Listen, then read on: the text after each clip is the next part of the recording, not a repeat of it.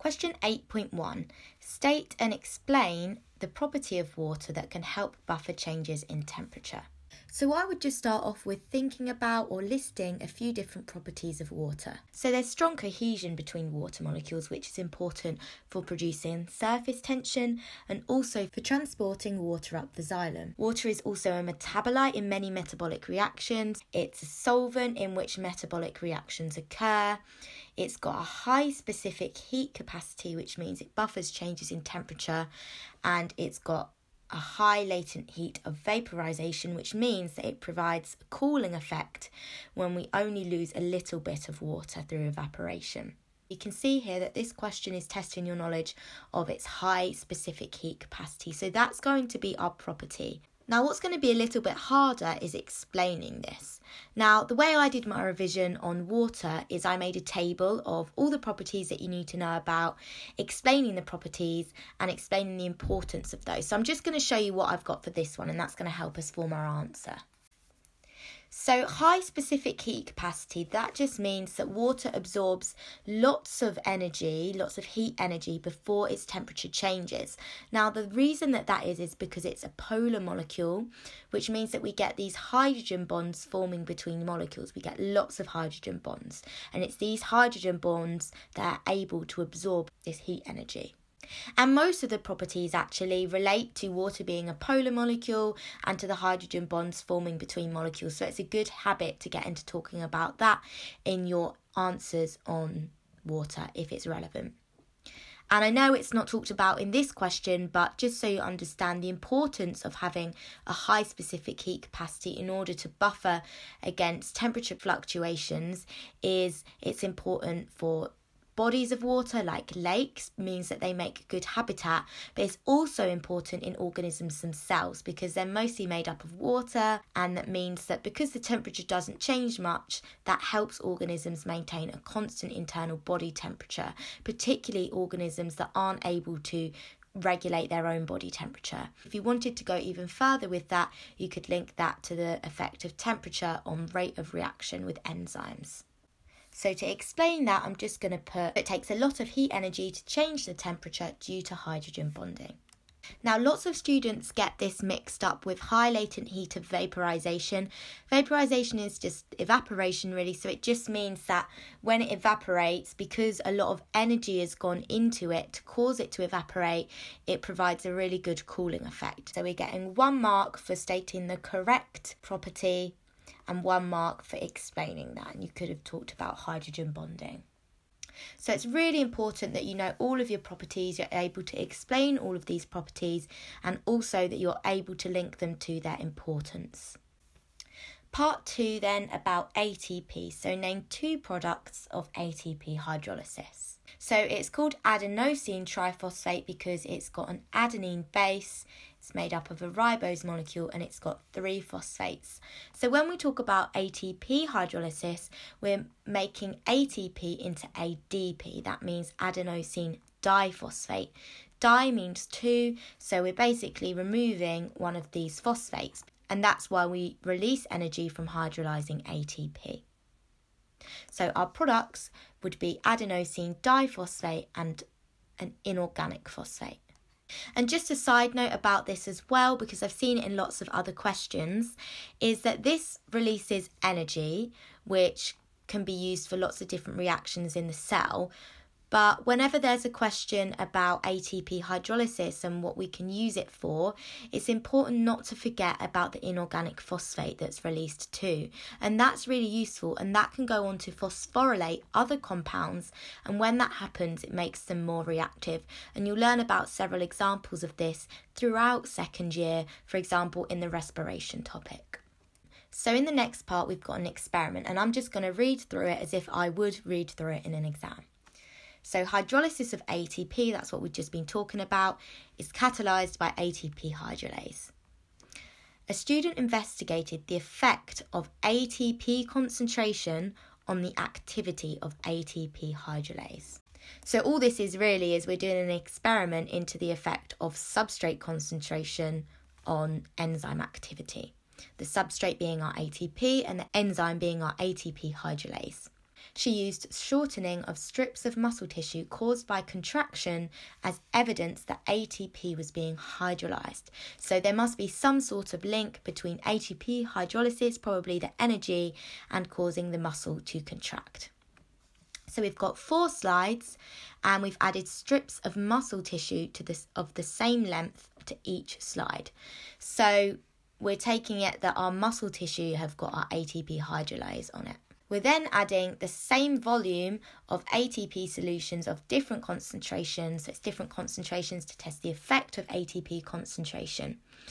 To these slides and we're leaving them for five minutes and then we're looking at the length of each strip of muscle tissue and because it's going to contract the length is going to shorten. So we've been given the results. So we've got these four different slides. We've got increasing concentrations and we can see that the length is decreasing. So part three other than those given name two variables that the student should have controlled.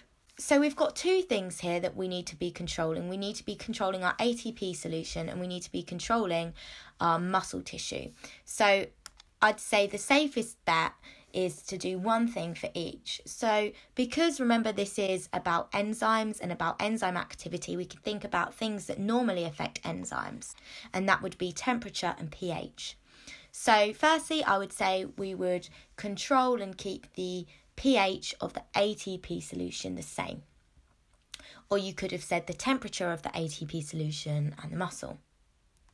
Now, with regard to the muscle, there's lots of things we could have controlled there. We basically just want to make sure that it's the same type of muscle or it's coming from the same organism or same species. So you can put any of them. So I'm just going to say that take the muscle from the same organism. So if we look at our mark scheme here, we can see that you've got to be really specific and you've got to say that you're controlling the pH of the ATP solution. So now we want to describe and explain the pattern shown by data in table 1.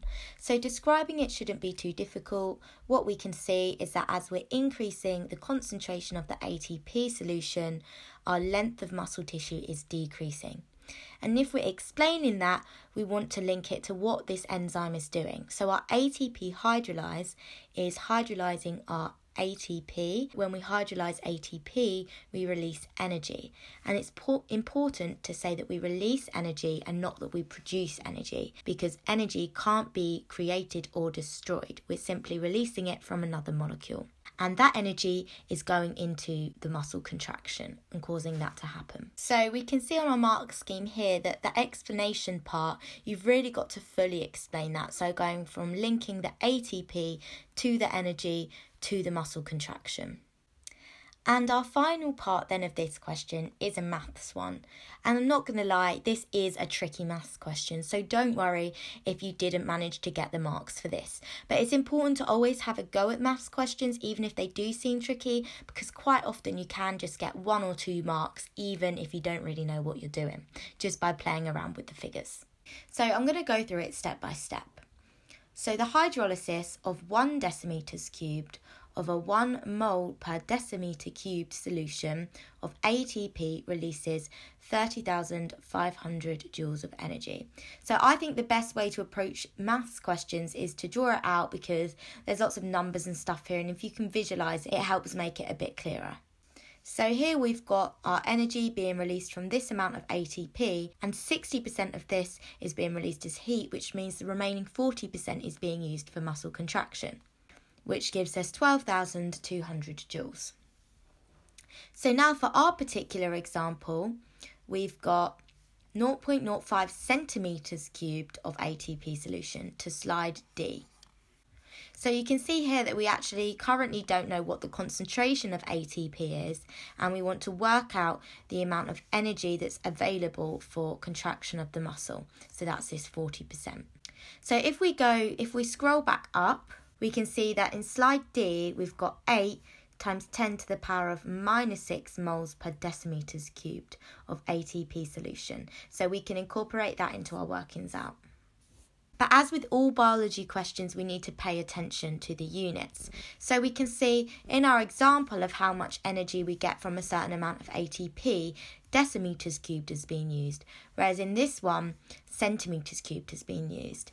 And so we need to be able to convert centimetres cubed to decimeters cubed or vice versa. So 1 centimetre is equal to 0.1 decimetre because centimetre means a hundredth of a metre and decimetre means a tenth of a metre.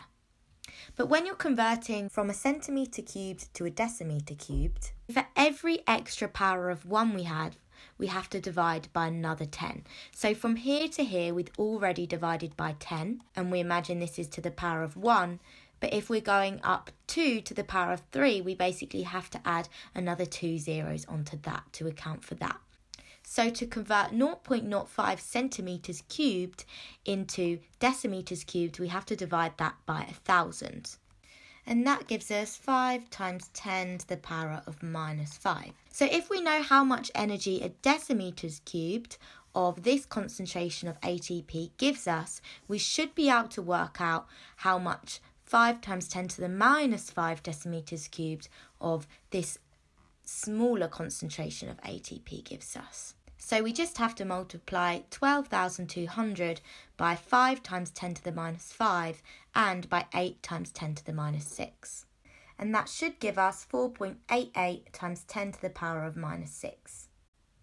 So if we look at our mark scheme, we can see that even if you got part of the way and you perhaps didn't change the units correctly, or you didn't look back on the other page and realise it was 8 times 10 to the minus 6, then you could have still got one or two marks.